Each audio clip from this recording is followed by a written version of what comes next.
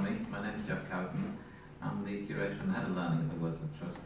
And we may be here in this room today, but we're actually beaming, broadcasting to the world at large. This is our first ever live stream from a Saturday talk. Uh, so that's why we've certainly have to start on time for our worldwide audience. Um, I have a couple of things to say. One is I hope it's okay that we do this, that the only filming that we're going to do is from the front, so you, you won't be in it, if that's, if that's okay. And the other thing is, um, I'm uh, required to read out that if there is a, an emergency, we're not expecting a fire drill, so if the alarms go off, it's for real, and uh, we'll lead people that way out the door and also this way here. But there's plenty of us here to, to lead you to lead you out. Um, that's the formalities. Um, I would just like to say a very, very warm welcome to people uh, if this is your first visit to the Jerwood Centre. Um, we're, we're in here, we're surrounded by the great books of English Romanticism. We have Wordsworth on one side, and we have Byron, Keats, Shelley, Quincey, Stanley, all around us. So it's, it's great surroundings for a, for a talk such as this. Um, it's a very special day too, um, because this is the this is the, the, the first day of the last exhibition in the museum as we know it. And that's quite a moment. We had a, a ceremonial putting in of the last screw um, which we filmed, and of course social media got to see it, uh, putting in the last screw of the last picture to be hung in the exhibition room, and that's after 37 years of exhibitions in that space. And uh, the first one I remember was the was the art of Donald Wilkinson, the, the, the North Cumbrian-based artist, and there's been many great things in that room since. I don't know how the wall's still standing. It must be so full of holes with Polyfilla them. I don't know how they're still there, but um, it's, a, it's a great moment, and there couldn't be a better show, really, to, to end the, this great run. Um, we're marking the ascent of Scafell Pike by Dorothy Wordsworth, Mary Barker, three others, um, on the 7th of October 1818. And it's a remarkable thing, it's pioneering because Scafell Pike, Scafell were barely mentioned on the maps at the time. Helvellyn was one thing, Skiddaw was a, was a walked hill, but less so the Scafell Remarkable too, because of course it was two women, uh, at a time when women weren't, uh, wasn't so common to, to climb mountains, and remarkable too because of the account that Dorothy left us with. And that's what is the basis for our exhibition, it's the basis for our programme of events coming up. And when we've finished the talk today, we'll go next door, see the exhibition, uh, have a glass of wine, have a celebration of that moment. Um, but this is also the moment to congratulate Melissa and Jo Taylor for the exhibition itself.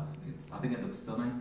Um, they've put the, the body of the exhibition together. It's been wonderfully complemented by two other artists. One, uh, Alex Jacob Whitworth, who's contributed three pictures to it. She is being Dorothy Wordsworth. Ask, ask her at the drinks what that means. But, but Alex is being Dorothy for the few months leading up to the climb of the hill.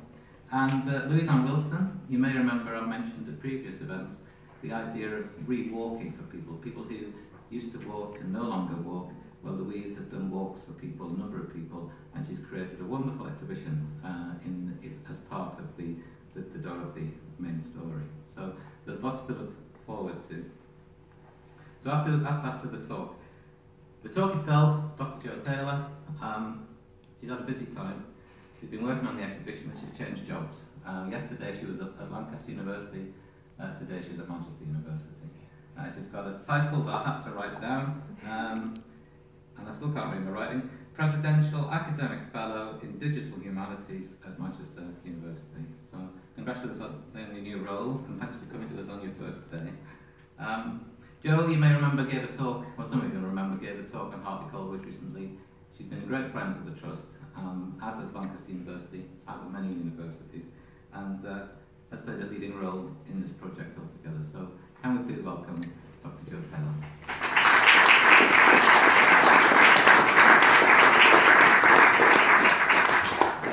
Thanks so much for that, Jeff, and to everyone for coming. I literally can't think of a better way to spend the first day in a new job than, um, than talking about an exhibition that's uh, been a real labour of love for um, for nearly a year, actually, I realised when, um, when I was looking back over some notes this week.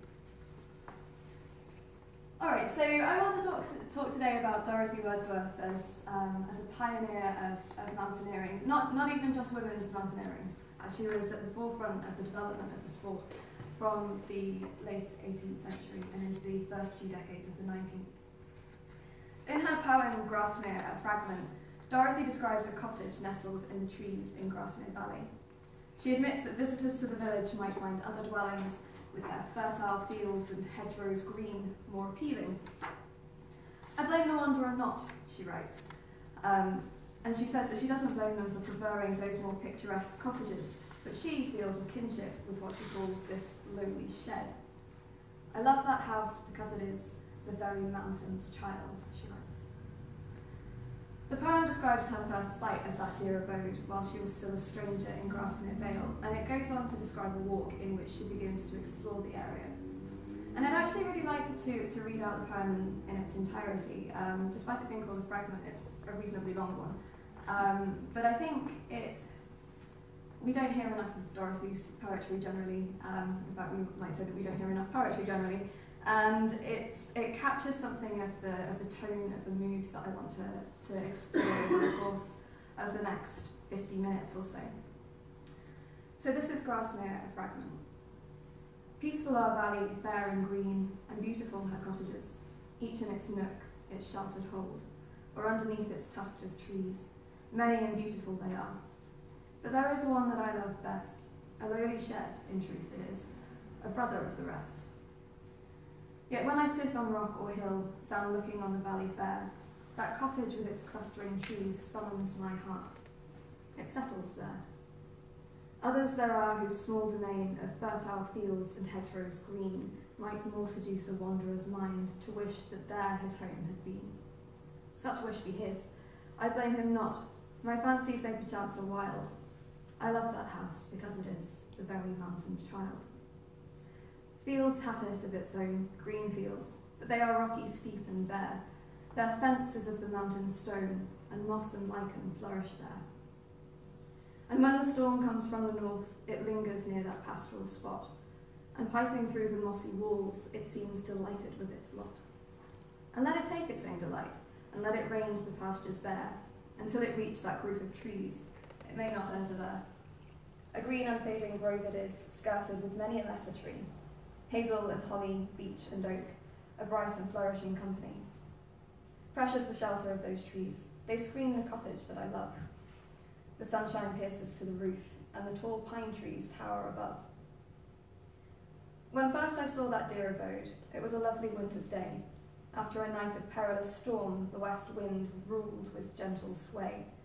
A day so mild it might have been the first day of the gladsome spring, the robins warbled, and I heard one solitary throstle sing. A stranger Grasmere in thy vale, all faces then to me unknown. I left my sole companion friend to wander out alone. Lured by a little winding path, I quitted soon the public road. A smooth and tempting path it was, by sheep and shepherds trod. Eastward towards the lofty hills, this pathway led me on, until I reached a stately rock, with velvet moss o'ergrown. With russet oak and tufts of fern, its top was richly garlanded, its sides adorned with eglantine, bedropped with hips of glossy red. There too, in many a sheltered chink, the foxglove's broad leaves flourished fair, and silver birch whose purple twigs bend to the softest breathing air. Beneath that rock my course I stayed, and looking to its summit high. Thou wearest, I said, a splendid garb, here winter keeps his revelry. Full long the dweller on the plains, Aggrieved when summer days were gone. No more I'll grieve, for winter here hath pleasure gardens of his own. What need of flowers? The splendid moss is gayer than an April mead. More rich, rich its hues of various green, orange and gold and glittering red. Beside that gay and lovely rock, there came with merry voice a foaming streamlet glancing by. It seemed to say, Rejoice. My youthful wishes all fulfilled, wishes matured by thoughtful choice. I stood an inmate of this vale. How could I but rejoice? So I want to spend a, a, a couple of minutes with this poem, having a look at a, a, couple of those moments in a little bit more detail. So the first, um, the first moment that I think is really important in this, um, in this poem is, for our purposes today at least, is this one, where she writes that she leaves her companion. I left my sole companion friend. I think if we're all happy to read this poem biographically, we can safely assume that this companion friend might be William. And Dorothy discovers in this moment that walking in the mountains can uncover a sort of liberating sense of independence. and she takes us along with her. That path tempts her on, and as Pamela Woof has written of another of Dorothy's walks, Dorothy always found the beckoning of the bending road irresistible. This road, or this path, bends in unpredictable ways because, as she tells us, she leaves the public road and goes on to the shepherd's tracks, um, those kind of lesser explored old ways. The poem here, I think, stands in for the path that she describes, and we move with her along it, which Dorothy describes with a kind of characteristic vividness. She really pulls out those moments of the flowers blooming and the mosses laying on the rock faces. She pauses beneath what she calls that stately rock and enters into a conversation with the mountain. She compliments it on its splendid garb and muses that winter here hath pleasure gardens of his own. that stream running down the mountain seems to reply to her. It calls out rejoice, as we've just heard. And standing on the mountainside, that, um, that sentiment, that rejoicing, seems inevitable. Oh, does it seem inevitable? No, never mind, it doesn't seem inevitable on the slide. But um, in the poem, at least, it seems inevitable. She finishes off with that, um, that declaration that she stands now, an inmate of this vale. How could I but rejoice? So, throughout the course of this poem, um, and this is really what I want to focus on throughout, um, throughout this paper, uh, that sense that walking in the mountains has achieved two main things for Dorothy. First, it's highlighted for her that her youthful wishes to live with her brother and to have the freedom to walk where she pleased had been granted. And second, there's that realization of this intimate knowledge of the landscape that she's been able to develop through walking. And that's turned her from a stranger in Grasmere to an inmate over the course of really just a few lines, um, or just a few steps. Standing beneath the rock, Dorothy seems to become absorbed by the mountain, and this is something that we'll see again when we get to Scafell towards the end of the paper. Like the cottage, Dorothy becomes the mountain's very child because the uplands have birthed this new and profound sense of independence and creativity, a sense that, that's expressed in poems like this, but also in her, her letters and perhaps most famously in her journals. And it's beautifully captured, I think, by Alex Jacob Whitworth's logo for, for the exhibition that you'll see throughout the sides here and that you'll see beautifully adorning the panels that Melissa's done for the exhibition itself. So this then, this moment of, um, of leaving her soul companion um, and going off and exploring the, the pathways, both known and lesser known, around Grasmere Valley, is a really important moment for Dorothy, both personally and poetically. But more than that, it's really significant as one of the earliest instances of a woman claiming mountaineering as something that's crucial for her creativity and her identity. Um, this is a real trailblazing moment in a lot of different senses, I think. Dorothy's walking throughout her life was intimately bound up with her writing, and her achievements in both were not insignificant. The fact that I perhaps don't need to tell this audience, but I think it bears repeating as often as possible. She completed her first long distance walk from Kendal to Keswick in 1794 with her brother William, in the manner of an elopement, as Frances Wilson thinks. In 1803, William and, for a while at least, Samuel Taylor Coleridge, uh, um, and of course Dorothy, undertook a walking tour of Scotland, which Dorothy re recorded in her recollections of a tour made in Scotland. Later, in 1820, um, she went with, uh, with William and his wife Mary and a couple of family friends uh, to the Alps, where they completed a pedestrian tour that in some ways sought to recreate the tour that Wordsworth had done of the Alps in the 1790s. And that, that excursion also inspired a journal that Dorothy distributed among friends as a, as a sort of travel account. But the ascent of Scafell Pike, the, um, the excursion that, as Jeff said, inspired uh, the This Girl Did exhibition, that excursion is particularly notable for the daring that it displays. This, this excursion up Scafell Pike, the ascent, of Scafell, wasn't um, it wasn't simply a, a mountain climb. It wasn't something that was um, a straightforward up and down. It was a rebellious act that really um, had long-lasting consequences. It opened up the mountain. Um, and from it, I think mountaineering more broadly, for successive generations, um, particularly of women, throughout the 19th, 20th, and 21st centuries. But it does something more than that, as we'll see towards the end of the paper, and as, um, as you'll see when, um, when we go through to the exhibition. Dorothy's account suggests alternative ways of understanding mountains that go beyond tales of sporting prowess. This is not simply a physical feat.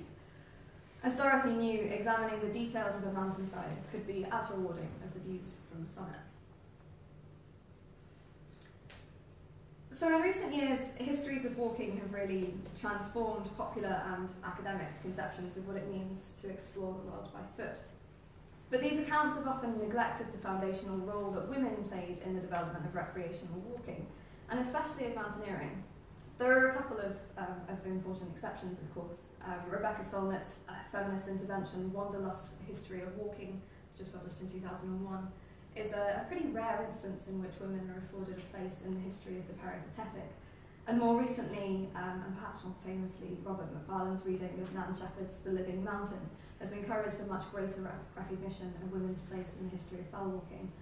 Um, and Kerri Andrews at Edge Hill University has, um, has got some work forthcoming on women walkers which really promises to transform our understandings of women's historical walking practices and the literature that they inspired. And what studies like these have done have, have really proved that it's vital that women's role in walking histories be unearthed.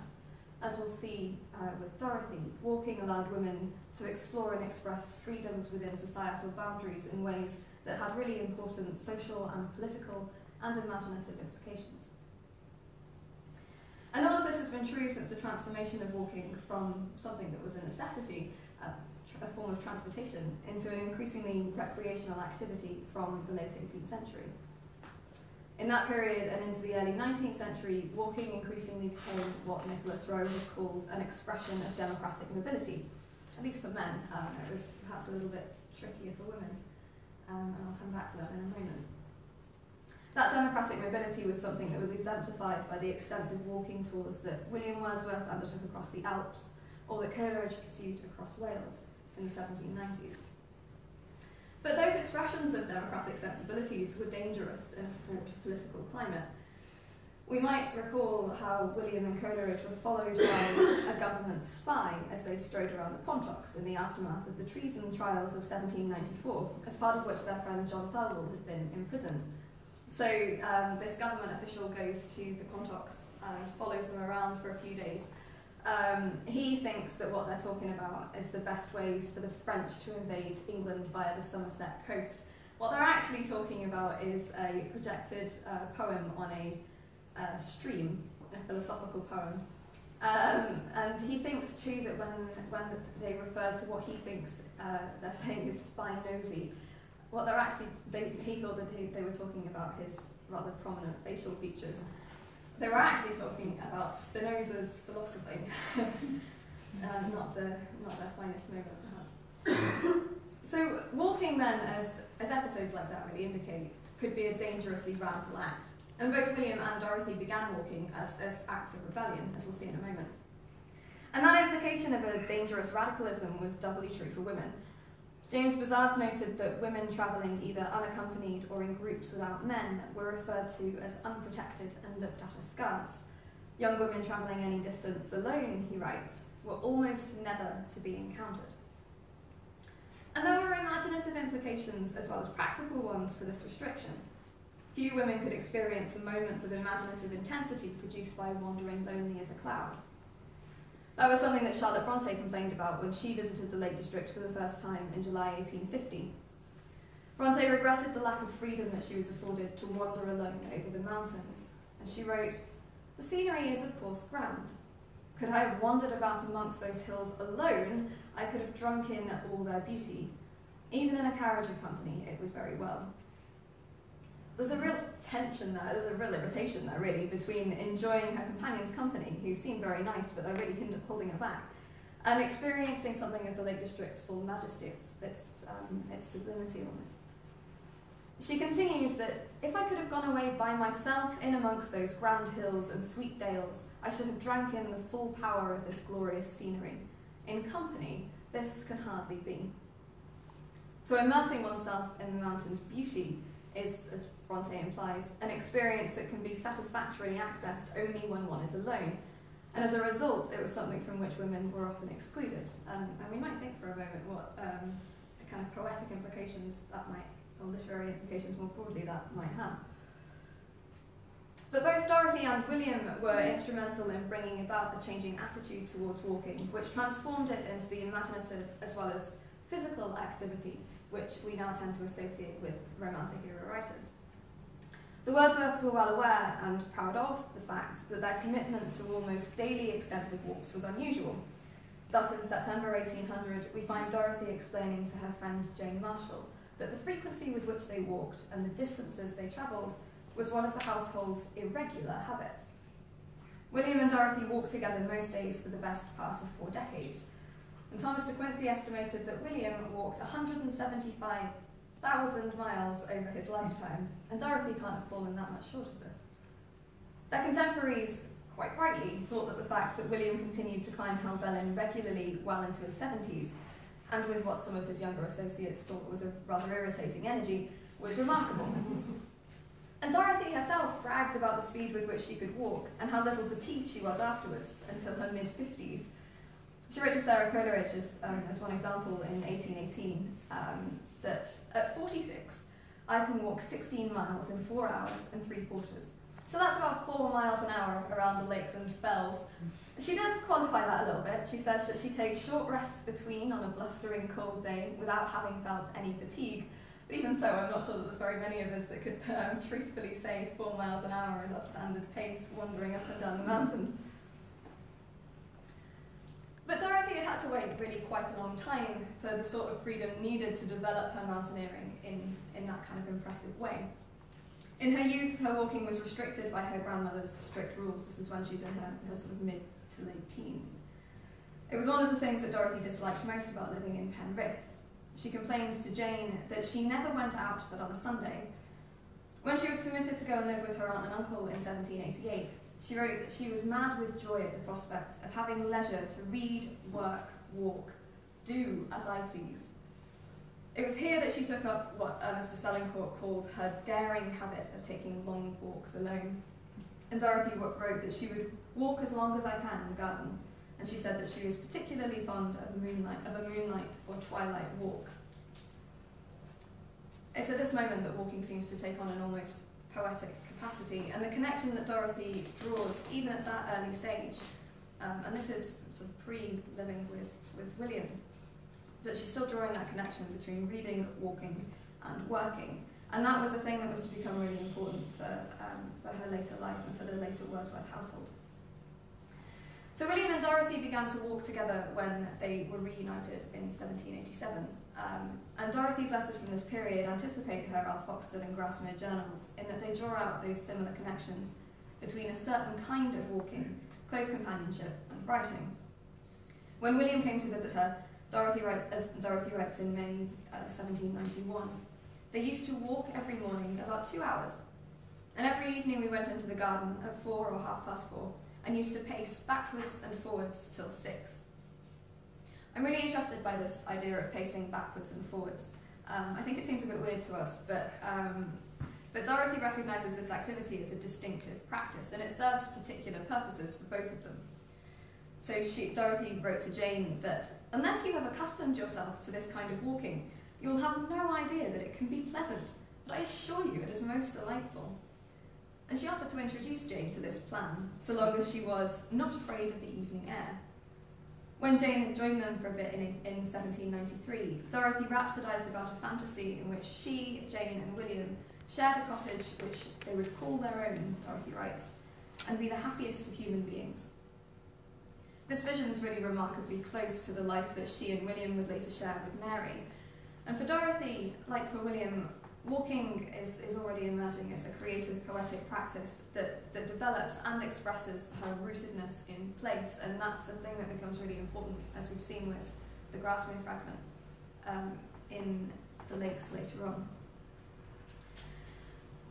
Things really, really changed for Dorothy once she moved in with William. She began to experience a much greater freedom, and um, as Pamela again has pointed out, from that point, Dorothy lived in a much more spacious freedom than most of us. She had no children, she wasn't married, um, although she helped out a lot with the, um, the housework and, um, and with the kids when they started arriving. She wasn't tied to the house in the same way that, um, that Mary, for example, was. Dorothy continued to be amused by her friends, and particularly her male friends' concerns over her safety and comfort when she went out walking. So, uh, in one instance in 1802, she was returning home from the Clarksons' house in uh, Ullswater. And she writes to Catherine Clarkson that their worries had been misplaced since she reached home before five o'clock on the Sunday afternoon without being in the least heated or fatigued. Because, of course, she wasn't. Dorothy rarely writes that she's heated or fatigued. The clouds that Thomas Clarkson had been so anxious about were to Dorothy nothing more than passing features of aesthetic interest. They connected the whole Vale of Brothers Water, she noted, with the sky enclosing it, so that there seemed no other place beyond. And indeed, it seemed as beautiful a place as there need be in a beautiful world. Those clouds, like the mountains themselves, seemed to enfold Dorothy as she walked. They seemed to embed her in the valley. And moments like this are, I think, a kind of proof of Dorothy's highly self-conscious development of a really rebellious walking practice in two ways. Firstly, she deliberately articulates a sense of becoming rooted in, um, in the landscape, and she acknowledges how walking offers her unique and intimate insights into a place's rhythms and its emotions. But second, and perhaps more importantly, her amusement at the Clarksons' anxiety indicates her awareness that in walking in, this, in the way that she did, she was confronting gender norms, and to a large extent, she was winning. So we've seen already that walking was at the root of, of much of both Dorothy and William's writing. What or who they saw, heard, and touched as they walked inspired their poems, and the rhythms of their walking infiltrated their poetry and prose. Although William and Dorothy both considered walking to be central to their creative practices, they came at it with what Dorothy calls different plans. So this is, um, this is where that walking backwards and forwards really comes into its own. William chose his regular routes carefully, we're told, so that his physical rhythms would encourage the desired verse form. William Hazlitt recognised as much when he recorded in his essay on my first acquaintance with poets. Um, you can't spoiler this already, but he writes in on my first acquaintance with poets that Coleridge had told him that he himself likes to compose in walking over uneven ground, or breaking through the straggling branches of a copsewood, Wordsworth or down a straight gravel walk, or in some spot where the continuity of his verse met with no collateral interruption. It seems remarkably appropriate for both poets. Dorothy described that, that process, that walking backwards and forwards up the gravel walk, in more detail and her journals refer repeatedly to walking backwards and forwards with William along a defined stretch of path. De Quincey recorded that locals were bemused by the sight of William bum bum bumming, working out the rhythm of his, um, his verse as he walked up and down, often with Dorothy following behind to write the poem down. That Wordsworthian in practice is pretty well known, but what's been less commented on is the fact that it's actually Dorothy, as we've, we've seen already, that seemed to introduce William to that particular plan. And Dorothy, though, didn't initiate it for creative ends. For her, as I've implied already, it was a practical response to those limitations imposed on her by her relative's sense of social decorum. But when Dorothy did accompany William on these kind of metronomic walks, she discovered a different kind of connection with the landscape. If William used walking to seek a deeper connection to his inner self, and so to his poetic practice, Dorothy used it to develop her relationship with the landscape. So let's take this moment. When um, Dorothy is describing in her journal a walk that she and Mary have undertaken to Easdale, one of her favourites. She says, After dinner it was agreed that we should walk. When I had finished a letter to Coleridge, part of which I had written in the morning by the kitchen fire, while the, while the mutton was roasting. Mary and I walked into Easdale and backwards and forwards in that large field under George Rawson's white cottage.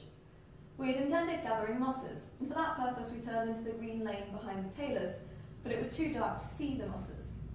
The river came galloping past the church as fast as it could come, and when we got into Easdale, we saw Churn Force like a broad stream of snow. She continues.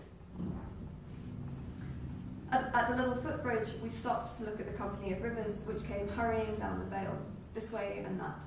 It was a valley of streams and islands with that great waterfall at the head and lesser falls in different parts of the mountains coming down to these rivers.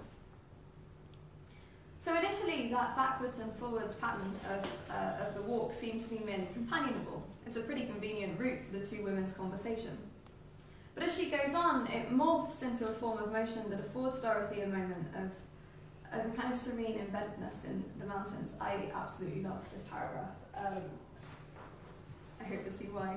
So she goes on to say, We could hear the sound of those lesser falls, but we could not see them.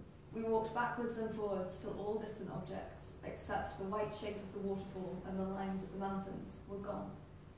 We had the crescent moon when we went out, and on our return there were a few stars that shone, shone dimly, but it was a grey, cloudy night. I really love this moment because there's a real sense of, um, of absorption into the mountains that becomes almost physical, it's almost visceral. Um, and Dor- Dora Wordsworth's friend Maria Jane Jewsbury said that Dorothy was uh, a kind of embodied spell. So powerful was the effect of her vitality on those around her. And I feel like that kind of magic really radiates from entries like this one. In a literal sense, Dorothy and Mary walk until the mountains disappear into the coming night. But in a literary sense, the moment also indicates Dorothy's sense of, or at least desire to be, absorbed into the landscape. If William in Home at Grasmere begged the hills to enfold him and close him in, Dorothy already seems to have found out how to get into their embrace. As we saw earlier with Grasmere, a fragment, Dorothy embeds herself in the landscape by walking in it, and by attending to the details that moving slowly over the mountains reveals. this is something that really comes into its own when she climbs Scafell Pike on October 7th, 1818, um, which, as, as we've said, was perhaps one of Dorothy's most significant mountaineering achievements.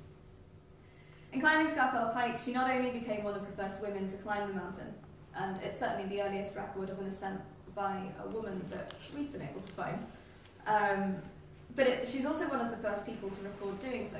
Samuel Taylor Coleridge is uh, famously the other notable early instance of, um, of writing down uh, an excursion up and, um, more problematically for him, down a Scafell um, in 1802. But there's a, there's a real gap um, between, between those years, and it actually wasn't until several decades later that Scafell becomes a regular part of um, tourists and travellers' routes through the lakes. And climbing the Scafell Massif is even more um, impressive when we remember that, that in this period the Lakeland Mountains uh, tended to be characterised as being either masculine or feminine. So mountains like Skiddaw or the Langdales, uh, which could be largely traversed on horseback or even um, to, to a large extent by a coach, were considered appropriate for women mountaineers. Others, like Helvellyn, were not as Dora Wordsworth found as late as 1814. Um, this is a, a, really lovely moment in, in the exhibition, I think. Dora, um, we see a different side to Dora uh, in, in this exchange. She, uh, she found out that her father and her husband, Edward Quillinan, were planning on going up Helvellyn. Uh, they said she wasn't allowed to come. She said, well, I'd really quite like to. And they said, uh, or Wordsworth rather said, no, you're, you're not coming. You're not strong enough. You're not, you're not fit enough. You're, you can stay here. She argues her point though, and eventually they compromise, um, and she ends up riding up it on a rather reluctant pony. Um, and Edward Quillinan um, records that he, or the locals seem to think that no lady had ever done this before. The pony seems to indicate there's a good reason why. but um, but Scafell, um, the, the whole Scafell Massif, not, not just the pike, was barely climbed at all. Um, its, its extreme vertiginousness put off all but the very hardiest mountaineers and, of course, the locals who merrily farmed it as part of their day-to-day working life. But, um, but mountaineering-wise, it was largely excluded from this mountain canon until um, the sort of early mid-19th century. From about the 1830s onwards, we start reading more about it. But it has to wait a while for, um, for people to start going there with any regularity. So Dorothy's ascent of Scafell Pike then is even more remarkable in that context. And she records the ascent of the mountain in a letter written to William Johnson, uh, Grasmere's former curate, only part of which, um, in fact, none of the original letter survives, does it? Um, there's, but there's two copies of it. Uh, fortunately, that account was considered by Dorothy's friends and family to be of sufficient literary merit to be transcribed into a fair copy. Um, and it was included without attribution in William's Guide to the District of the Lakes from the second edition in 1822, as um, Pamela pointed out in, um, in the other room a, a, minute ago, that's not necessarily because William was being horrible to Dorothy. She was um, notoriously kind of reticent about taking credit for her work. But still, it meant that many of the people who followed in the guide's footsteps believed that it was William who they were emulating. And it's a fallacy that actually still continues to be repeated in both popular and academic responses to the guide. William wasn't present on the climb, and I think it, it does something really important to our understandings of the history of mountaineering if we continue to believe that it's William that is writing this account. So Dorothy undertook the ascent of Scafell Pike on October the 7th, 1818, with her friend Mary Barker, who she tells us is an unmarried lady who lived in Borrowdale. She lived in a house that Robert Southey called the Folly um, because it was built so close to the river and he was pretty sure it was going to flood them all. And he, he was right, it's, a very lovely house. It's the Scafell Hotel um, today, which has just been refurbished following flooding in uh, Storm um, so Dorothy reported that Miss Barker, um, Mary Barker, had been bewitched with the charms of the rocks and streams and mountains belonging to that secluded spot, and had there built herself a house.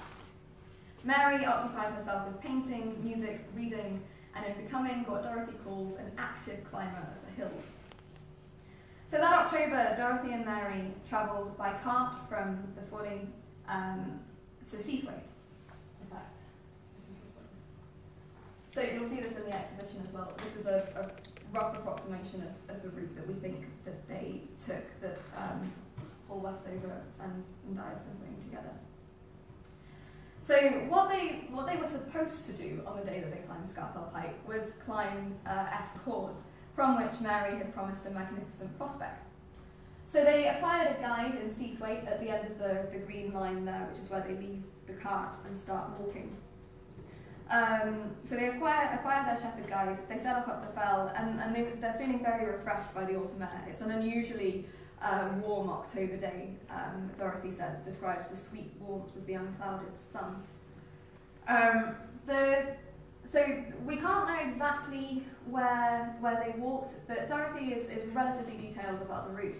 And also, um, this map data is taken from the Lake District National Park Authority's public footpath data um, which has uh, a lot of similarities even today with the, the kinds of routes that Dorothy's taking. So there's a sense um, when we're engaging with, with data and with maps like this that actually we're still following in Dorothy's footsteps, even if we're not necessarily always uh, acknowledging her.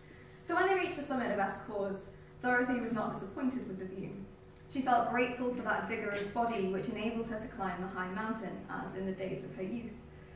She records her exhilaration as she looks out over the region. Um, this is her looking over Wasdale, where she exclaims, But how shall I speak of the peculiar deliciousness of the third prospect? At that time, at this time, that was the most favoured by sunshine and shade. The green vale of Esk, deep and green, with its glittering serpent stream, was below us, and on we looked to the mountains near the sea, Black Combe and others, and still beyond the sea, it, to the sea itself in dazzling brightness. Turning round, we saw the mountains of Wasdale in tumult, and Great Gable, though the middle of the mountain, was to us as its base looked very grand. This, I think, is, um, is some further evidence of that embodied spell that Dorothy um, sometimes is capable of casting. She captures here a moment of, um, of a kind of personal landscaping. This isn't necessarily um, a, a, sort of objective form of, um, of the geography, but it's a very personal moment that tumult of Wasdale is reflected in, um, in Dorothy's grammar, I think. Um, so that long sentence here is broken up by the commas and the dashes in ways that mimic that quick glancing motion of the eye as it trips over the mountains that crowd in around her. It's a version of the, of the picturesque that um, Dennis, Denise Van Renen thinks leads to the potential for radical revelation of Dorothy's relationship to her surroundings. So there's a kind of aesthetic rebellion going on here as well as a physical one. That realization of a sort of monumental connection between herself and the mountains seems to have physically invigorated Dorothy. So at this point, they're supposed to go home. Um, and notwithstanding the miles they've already walked that day, they look out across to Great Gable and to Scafell and think, well, we're basically a third up it, so we may as well carry on. Um, um, so, although the distance turns out to be greater than it had appeared, she writes, still their courage did not fail. I just want to pause for a moment at that concept of courage. Um, I think it's really easy for us to forget now when we're faced with every day um, with so many exploits of, um, of amazing climbers and, and, and um, mountaineers in other contexts, um, undertaking these um, amazing adventures and uh, amazing feats of physical endurance and, and prowess. that to think of Scafell Pike as being a thing that required that kind of courage um, it might seem a little uh, odd to us uh, today. So I just wanted to pause for a moment with another um, another account from uh, the mid 1860s of climbing Scafell Pike that picks up on that idea of courage and I think nicely emblematizes why this was such a big deal. Um, why Scafell Pike might have required a similar kind of courage to, um, to climbing a much, a much bigger mountain later in the century. So this is a page from Eliza Lynn Linton's The Lake Country. Uh, Lynn Linton was the daughter of the vicar at Crosthwaite, um, and she was actually the first salaried female journalist in Britain. And what she does in this description of the climb of, of her climb of Scafell is capture a sense of, of how daunting uh, that ascent felt. So she notices in this guidebook that the distance to the mountain seems to continually shift. She seems to record, you know that moment where you're climbing a mountain and you think you've got to the summit and then there's another one and another one and another one. That's kind of how she feels about Scafell Pike. Um, and these engravings, which were done by her husband, William Linton, capture that sense. Um, so he records what it, it looks like to, um, to move up the mountain. There's a sort of Ruskinian connection here between uh, sketch and text that, um, that are attempting in some way to, to replicate that feeling of, of what it's like to walk up um, the mountain in this period. So texts like this, I think, um, really draw out the, that sense that Dorothy's not entirely unsatirical need for courage in the face of Scafell Pike seemed entirely legitimate in, in the light of, um, of the way that Scafell was imagined throughout this period. Anyway, back to Dorothy. Dorothy uh, and Mary reached the, the base, and they ascertained that the mountain at that point was too steep to attempt in any case. But rather than give up, they change course slightly and begin instead to ascend Scafell Pike. By the time Dorothy wrote the letter a week or so later, she discovered that the measurers of mountains had estimated the Pike to be the highest summit anyway. In 1790, it had been proved to be England's highest mountain. As they reached the top of Scafell Pike, Dorothy and Mary realised that they had climbed out of the reach of the Lakeland soundscape. So they pause and keep silence to listen, and Dorothy writes that not a sound of any kind was to be heard. Not even an insect hummed in the air. Sublimity here seems to transform into serenity as Dorothy looks out from the top of Scafell Pike. So she writes, The vales before described when she's on the top of Esk Hause lay in view, and side by side with Eskdale we now saw the sister vale of Dunnerdale terminated by the Duddon Sands. But the majesty of the mountains below and close to us is not to be conceived. We now beheld the whole mass of Great Gable from its base, the then of Wasdale at our feet, the gulf immeasurable, Grasmoor and the other mountains of Crummock, Ennerdale and its mountains, and the sea beyond. So from the top of Scafell Pike, Dorothy recaptures that sense of fragmented unity that she's already expressed from Esk Hause. Her new and even higher perspective allows her to see with even more clarity the connections between disparate elements of the landscape, and that physical response to the view is replicated in her writing if, as we saw earlier, walking backwards and forwards was particularly conducive to poetry, climbing Scafell seems to have inspired a certain kind of topographical prose. Um, so, for instance, here a colon indicates the termination of Dunnerdale by the Duddon Sands, um, but it, it still allows for a connection between the estuary and the mountains. Um, the Wasdale Mountains seem to belong in a group of their own. The full stop there separates them from the Scafells, uh, separates the Crummocks from the Scafells. And the dash mimics the gulf immeasurable that seems to separate Scafell Pike from Wasdale. So in short, Dorothy's grammar seems to remap the mountain and the view from it, in line with her personal experience of the geography. Harriet Martineau um, in uh, the mid-1850s does, does something similar. She thinks that she's mimicking William um, at, at, that point. She's actually mimicking Dorothy.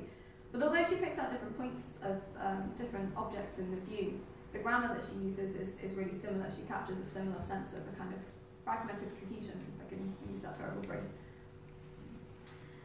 So as Dorothy concludes the letter, the imaginative implications of this embodied response to the mountain become clear.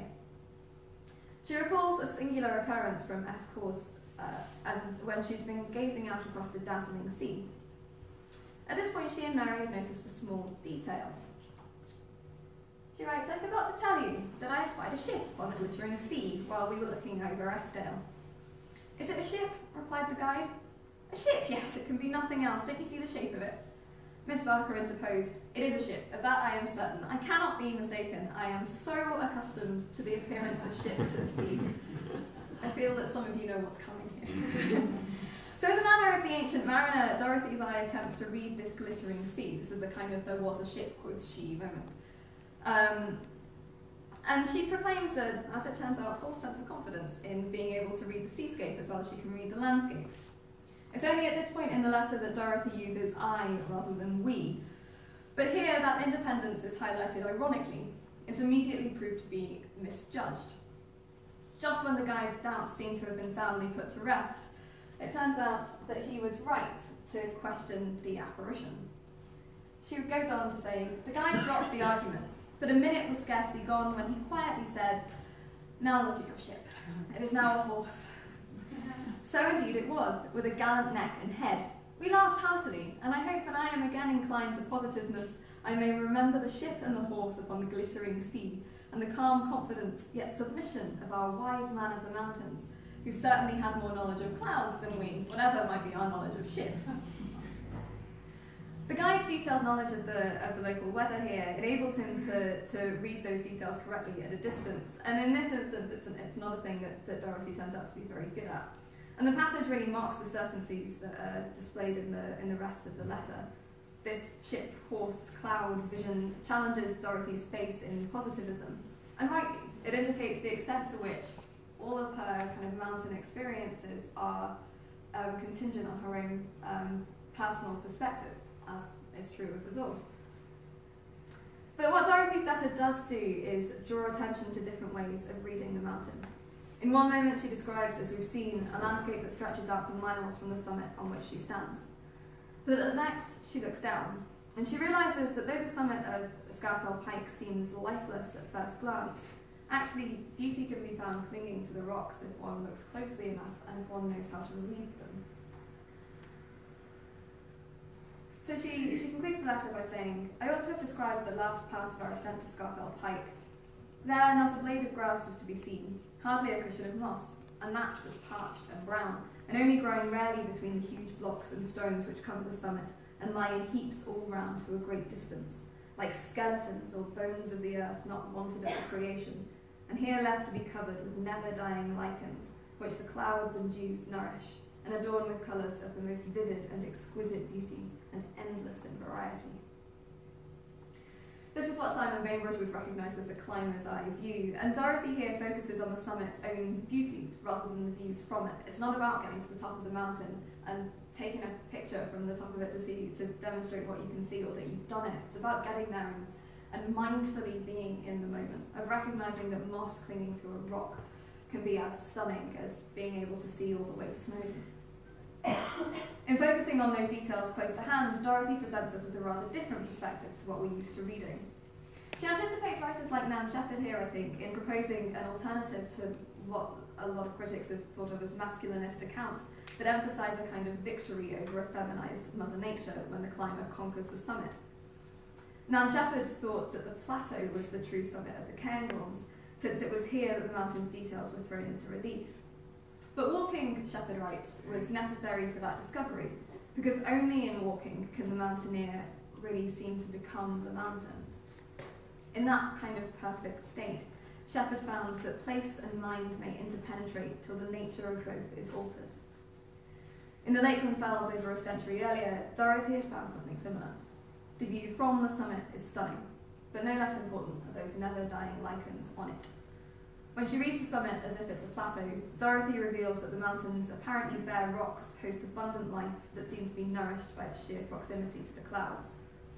That ability to discover a really rich detail in apparent bleakness means that the endless variety that Dorothy locates on the mountain is translated into her writing. We skip forward a few years to 1830. When Dorothy was staying in Leicestershire with her nephew John, um, she caught an infection with a sad irony, William identified the origin of that complaint as being imprudent exposure during a long walk. Later that winter, Dorothy herself wrote to Charles and Mary Lamb that she'd been, the whole of this winter, set aside as a walker. And she never fully recovered. Within a few years, she'd lost the use of her legs and had to be pushed around the house and terrace in a bath chair by a manservant and the occasional willing visitor like Henry Crabb Robinson. By the early 1830s, Dorothy was showing pronounced signs of dementia. She was barely 60, as if her mind simply couldn't function without walking. But although she couldn't, she could no longer walk, she did continue to write. Perhaps the best known and certainly the most affecting poem from these years is Thoughts from My Sickbed, the poem that's inspired Louise Ann Wilson's um, part of the exhibition next door. Thoughts from My Sickbed is a kind of dark answer to I Wandered Lonely as a Cloud, which transforms the Wordsworthian couch into a form of inescapable torment. Dora Wordsworth wrote to Edward Quillinan about the poem on May the 25th, 1832. Um, so this is an image um, of the exhibition next door for those of you who've not yet seen it. Dora writes, I hope Dorothy will sometime let me send you an affecting poem which she has written on the pleasure she received from the first spring flowers that were carried up to her when confined to her sick room. The last three stanzas of which I, I remember I will steal for you. And these are the final three stanzas of, of, of that poem. I felt a power unfelt before, controlling weakness, languor, pain. It bore me to the terrace walk, I trod the hills again. No prisoner in this lonely room, I saw the green banks of Wye, recalling my prophetic words, bard, brother, friend from infancy. No need of motion or of strength, or even the breathing air. Thought of nature's loveliest scenes, and with memory I was there. Dora continues, you must excuse the limping measure. Aunt cannot write regular meter. But what Dora takes to be a fault, I'd argue, is a deliberate poetic innovation from Dorothy. She's replicating as close as she can, I think, her own embodied memory. So just as we saw, um, in fact we didn't, never mind. Um, so just as we saw her kind of replicating the, her movements on, on Scafell um, in, in that kind of topographical prose that I was talking about a minute ago, here she's, um, she's limping through this verse in the way that she, um, she remembers strolling around it um, and clambering around the Lakeland Fells. That limping measure, I think, recalls something of Dorothy's own gait as she imagine, imaginatively revisits the terrace walk and the hills. Dorothy's journal really obsesses over those final two stanzas. Um, Louise Ann Wilson's done something really lovely with this in, um, Next Door, as you'll see in a moment. Um, in the journal, Dorothy writes variations of these stanzas out again and again, sometimes sideways, sometimes at various angles across the page. The irregularity of those manuscripts indicates something of Dorothy's mental distress as she writes again and again, a prisoner in this quiet room, imprisoned in this lonely room, no need of motion or of strength, no need of motion or of strength. The lines seem to pace about the page, even if Dorothy can't prowl around that lonely room. And one of those jottings is, I think, particularly revealing about how Dorothy remembers nature's best gifts. Written sideways down the page, sometime in 1833, Dorothy adds, And if perchance my feet shall come, thoughts, images of early youth. The movement of feet, both the remembered or imagined motion of her own walking and the structure of the poem itself, allow her to recollect her early years. This is a sad conclusion to an extraordinary career, but the habits of mountaineering that Dorothy had developed in her prime continued to influence her and her contemporaries long after she could no longer physically get to the fells. Her ability to recall the details that had so moved her on her walks helped to transport her back to the mountains that she'd loved so deeply. But Dorothy's walking and writing had further reaching consequences. That daring mountaineering established walking as a central occupation for almost all the women in the Lake Poets Circle, and the routes that she walked, rewalked, and recorded opened up the pathways to women and other walkers who followed, even if unknowingly, in her footsteps. Even today, we might trace some of our own routes, and perhaps more importantly, some of our ways of reading meaning in the mountains, back to pioneers like Dorothy. Thank you.